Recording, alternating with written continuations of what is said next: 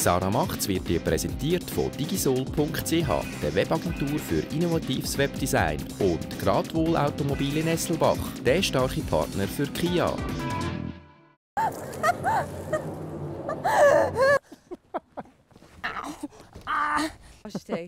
Okay. Oh,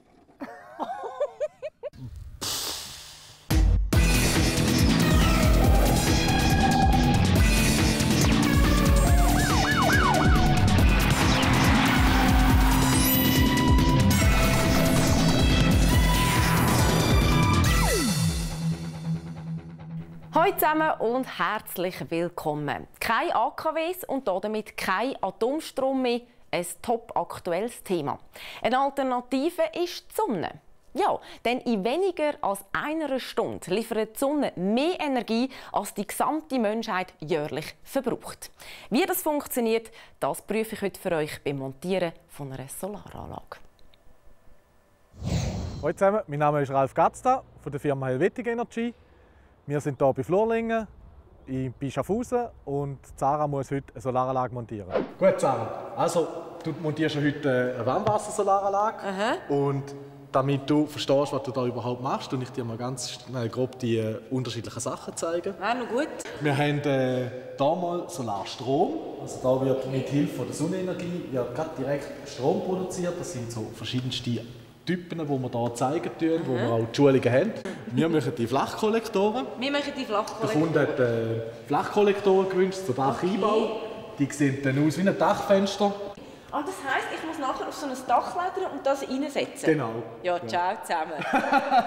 Was ist jetzt der Unterschied zwischen Solarwärme und Solarstrom? Also mit Solarstrom, das scheint die Sonne auf die Panels zu und tut nachher direkt Strom produzieren. Also das Licht. Das Licht tut direkt Strom generieren und da benutzt man dann den Strom. Den kann man einspeisen ins, ins Stromnetz oder Okay. gerade auch selber verbrauchen. Okay. Und beim warmen Wasser tust du eine Flüssigkeit erwärmen, also Wasser oder Glykol in dem Moment, das ist eine Spezialflüssigkeit. Und die wird dann im Tank, wo im Haus steht, wird das eingespeisen, wird im Prinzip wie eine große Warmwasserbatterie, wo dann da draußen kannst Wärme beziehen fürs Duschen, Zähneputzen Also Solarwärme Haushalten. ist alles für Wasser und so. Genau, richtig. Und Solarstrom ist alles für Elektrizität und so. Perfekt. Für Fernsehen schauen und Licht anschalten. Ja, Erste, erste Prüfung bestanden. Sehr gut. dann werden die Kollektoren musst du dann helfen von unten tragen. Oh Gott. Wie schwer sind sie? Die haben nur etwa 35 Kilo. Ah, nur ja dann. Dann muss man alles anschliessen. Die sind dann untereinander verbunden, die Kollektoren. Das Okay. siehst du jetzt noch nicht, das können wir dir nachher noch zeigen. Und dann äh, gerade unter dem Dach laufen so, laufen so Leitungen durch. Die gehen dann irgendwo beim Haus innen drin oder im Haus außen runter, gehen die runter bis in den Keller, wo dann normalerweise so ein Speicher steht. Die werden dann da oben angeschlossen. Also die Dinge dort kommen dann da rein? Die kommen dort oben rein. Okay. Genau. Und wenn wir dann das alles angeschlossen haben, dann tun wir hier bei unserem System, wir haben äh, ein sehr innovatives Produkt, das Plug and Play ist. Das nimmt sich komplett selber in Betrieb. Also es ist quasi blondinensicher. Danke. Und Und es ist da unten Low Energy. Wir haben eine spezielle Pumpe entwickelt, die nur noch 15 Watt braucht. Also das heisst weniger wie eine Glühbirne. Ah ja? Tun wir das ganze System betreiben. Ja. Und jetzt in dem Fall, jetzt muss ich los, oder was? Jetzt musst du los, ja. Jetzt muss ich los, wo hin? Die Baustelle ist in Gächlingen. Das ist im Kanton Schaffhausen, gerade nebendran. Okay. brauchen wir etwa eine Viertelstunde zum Anfahren. Und was ist es für ein Objekt? Ist ein Objekt, das ist ein Einfamilienhaus, wunderschön. Äh, du musst etwa 5 Meter Höhe schaffen, Schrägdach, wo man die Kollektorendach einbaut. Schräg heisst schräg. Schräg. Nicht schön so flach, sondern schräg. schräg. Der Kieh Genau. aber runter. Nein, nein, nein, du bist schön angeseilt hier. Ah, okay. Wir heben dir schon Sorge, dass du Okay. wieder heile heimkommst. okay. Philipp, Ja, suchen einen Philipp. da bin ich. Bist du der Philipp? Hi Philipp. Hoi Sarah. Ich melde mich zum Dienst. Ich muss bei dir die Sachen holen. Ja, cool. Weil irgendwie, wir müssen ja nachher hier in ein Einfamilienhaus irgendwie eine Anlage aufstellen. Genau, wir gehen so. heute äh, eine Thermieanlage, also eine Warmwasseranlage montieren Genau. im Einfamilienhaus. Genau. Und für das brauchen wir natürlich unsere Top-Kollektoren Mhm. und unsere Sunrise Eco-Anlagen. Okay. Und äh, ja, ich das denke, ist die Liste? Das, ja, das Dann ist nehme ich äh, doch die der gerne. Genau. Am gescheitsten, ich denke, wir gehen direkt, wir nehmen den Rolli, nehmen wir den Rolli, der dort, ähm, dort steht, das und gehen wir den Kollektoren holen. He? 39 sogar, noch schwerer.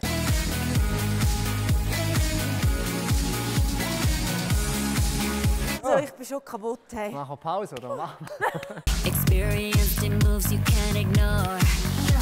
But something about this beat that's got me hooked. Den, den Rolli nehmen wir mit. Den müssen wir wieder mit. Ja.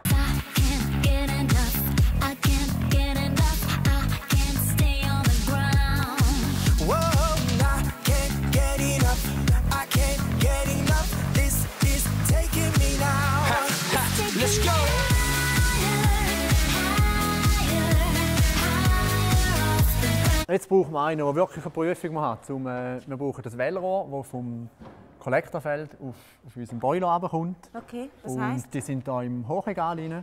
Und jetzt brauchen wir einen Lagerist, der uns das schnell abholt. Wir brauchen den Lagerist, der uns das abholt.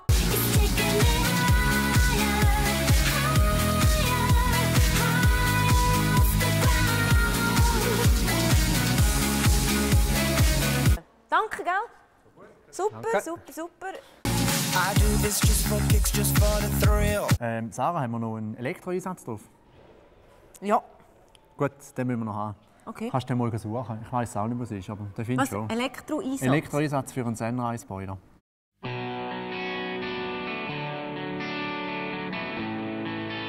Etwas Grosses oder etwas Kleines? Noch etwas in die kleine Richtung. In die kleine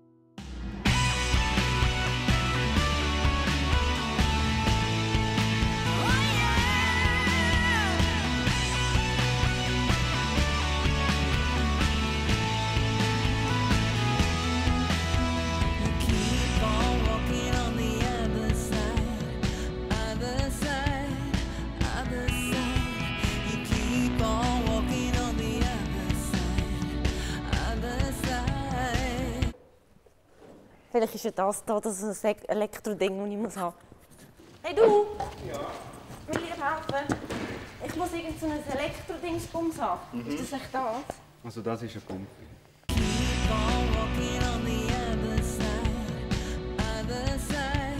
Philipp, ich habe es gefunden. Da bin ich. Wo bist du? Da bin ich, da bin ich. Ah, da, da, da, da, da, da. Hast du es gefunden? Ja, ich habe es geglaubt, ja.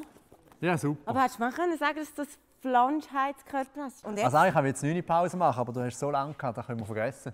Also gehen wir auf den Bau.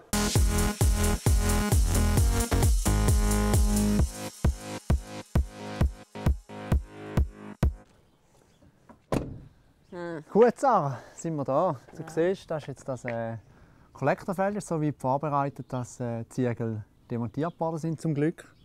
Weil es ist äh, genug schwer, um auf dem Steildach rumzulaufen. Darum haben wir es vorbereitet, dass die Ziegel weg sind. So kannst du gut stehen davon. Sind wir uns sicher? Ja, wir haben ein äh, Sicherheitsgestell, Okay. das ich dir wieder anlegen Also, Wir sind beide gesichert. dann machen wir das jetzt als erstes, oder? Genau, das ist das. Wichtigste. Ja. Legen wir los. Gut. Ich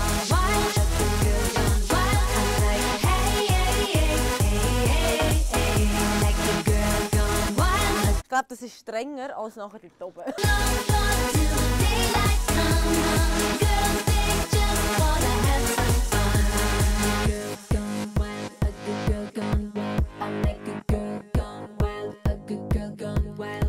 Nachher hang ich so. Ja, Wenn ich gehe. genau.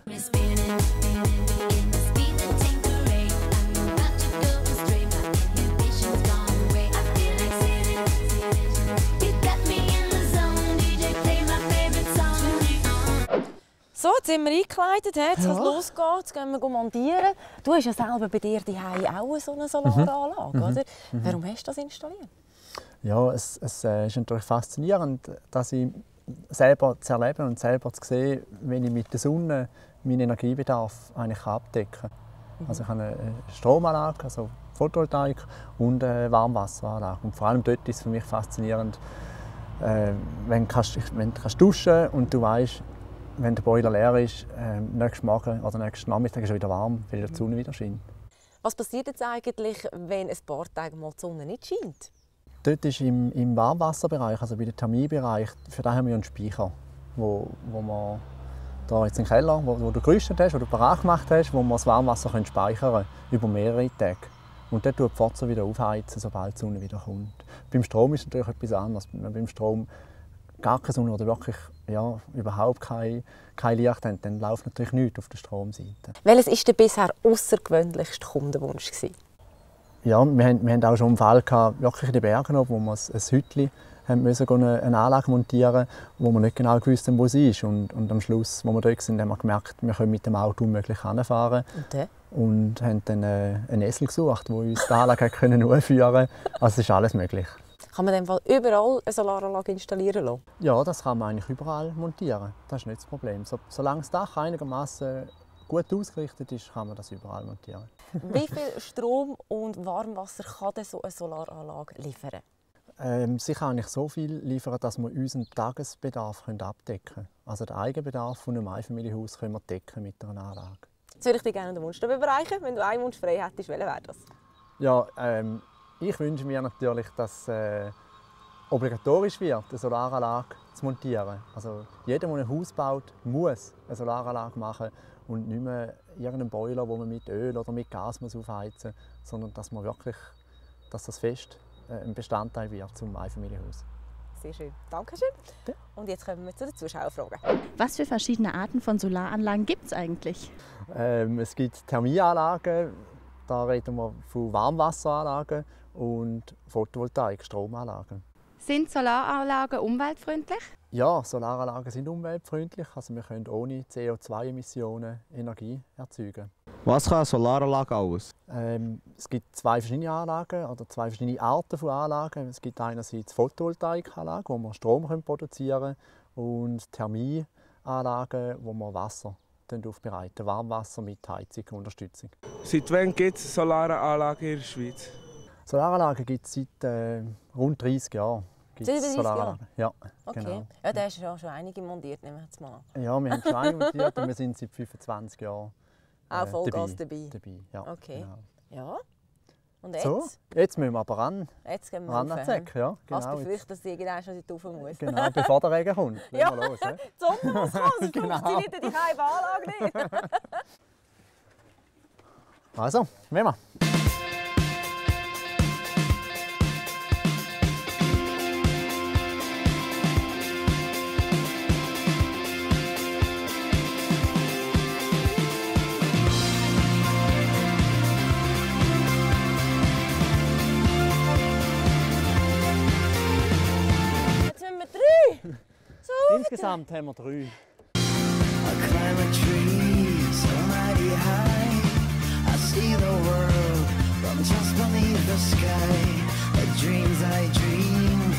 Take me high.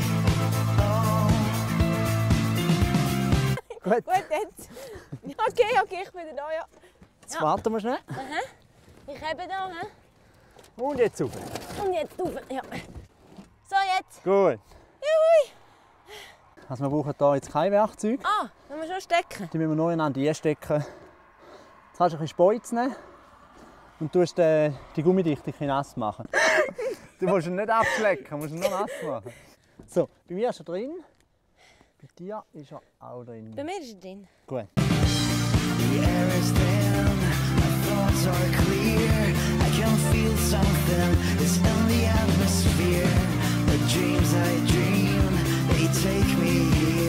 Kannst du abschlecken, wenn du willst. Also, mit hier Schon? Moment. I know. Okay. Oh, oh. Das Blättchen ist hier innen runtergepurzelt. Ist es schlimm, wenn wir kein Blättchen dort hin machen?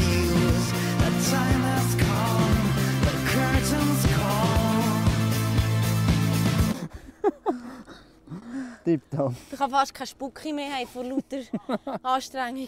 Hey, weißt du was? Die Sonne kommt! Ja, wir müssen pressieren. Hey, cool! Die Anlage wird schon Höchstleistungen bringen. Nein, ist so cool!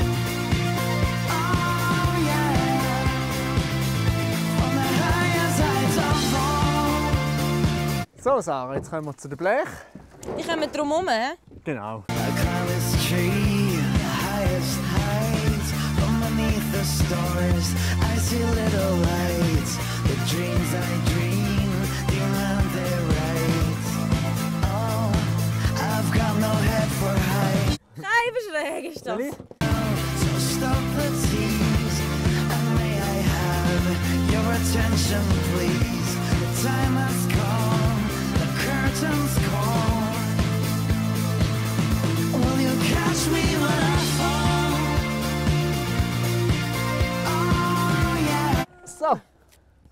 It. Jetzt gehen wir in den Keller. Wir müssen pressieren, wenn die Betrieb nehmen. Genau. Dass es Also, endlich los. warm Wasser gibt. So, sind wir im Keller. Jawohl. Das ist sozusagen fast das Ende. Nicht wahr? Ja, ja. Das Kollektorfeld ist gesetzt und Jetzt können wir sie in Betrieb nehmen, die ganze Ja. Anlage. Vorher haben wir eine Druckprüfung gebracht worden, ob Mhm. äh, alle Verbindungen wirklich dicht sind. Das machen wir immer. Und jetzt ist eigentlich ganz einfach. Ähm, Stecker rein, Start drücken. Die Anlage nimmt sich automatisch in Betrieb. Und dann ist das schon. Und dann sofort durchsäckeln, gehen, den Plastik abziehen. Okay, das nehme ich an, muss hier eingesteckt Genau. werden. Und ich da oben komme, mache ich das. So. Jawohl. Okay. Und Start. Warmwasser, dank dem Sünneli. Ja, ist das zum Glauben? Jetzt kommt noch die Sonne tatsächlich auf den Moment, Moment. wo wir sie in Betrieb nehmen. Kommt noch das Sünneli. Genial. So, sind wir wieder da oben. Jawohl. Ei. Auf und ab. Also, was ist jetzt gesagt? Jetzt muss ich die Folie Ja, wegnehmen. hey. ja, aber sofort. Dass es Schau mal, die Sonne, die Sonne kommt. Okay, aber jetzt machen wir es noch spannend. Bevor wir die in Betrieb nehmen, gibt es für euch etwas zum Gewinnen beim Wettbewerb. Als Preis Sarah Machts gibt es diese Woche einen Sibir Frühschrank zu gewinnen im Wert von 790 Franken inklusive Lieferung. Der kleine und praktische Frühschrank Sibir GB62A Plus findet überall Platz und bietet mit 53 Liter Nutzinhalt genug Stauraum für diverse Köstlichkeiten. Sibir, eine Marke mit Schweizer Tradition und einer umfangreichen Palette an Haushaltsgeräten für die Küche und den Wäschraum. Den tollen Preis gibt es vielleicht für dich, wenn du uns diese Frage kannst beantworten was ist das Herzstück von einer Solaranlage? Sarah A. Sonnenkollektoren, Sarah B. Leitungswasser. Mach jetzt ganz einfach mit und schick uns Sarah A oder Sarah B mit deiner Adresse per SMS auf Nummer 880 oder gib uns die Lösung telefonisch durch unter 0901 77 1234. Und für die schriftliche Teilnahme schickst du uns eine Postkarte an die eingeblendete Adresse. Viel Glück! Voll cool, ne?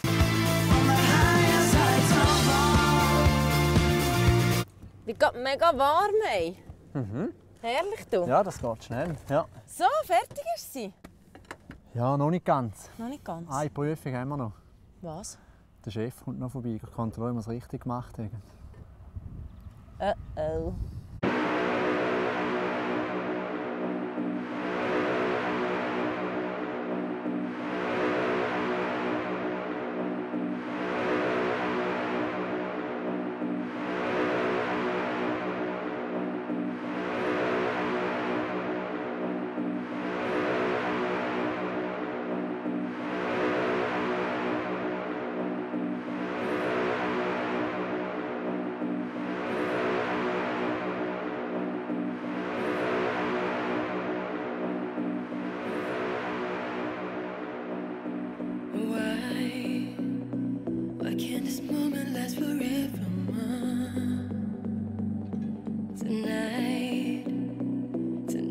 Gut, haben wir es gemacht. Tipptopp, super. Forever to the end of time. Hey, schön Schein gehabt, schön Angst bekommen. Hey. Wunderbar.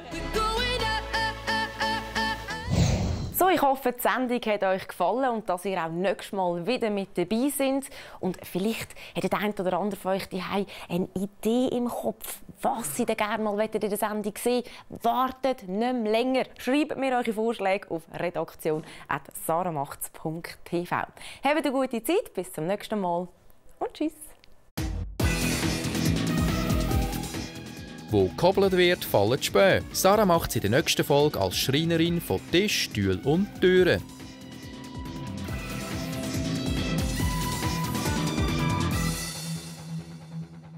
Sarah Macht's ist dir präsentiert worden von digisol.ch, der Webagentur für innovatives Webdesign und Gradwohl Automobile Nesselbach, der starke Partner für Kia.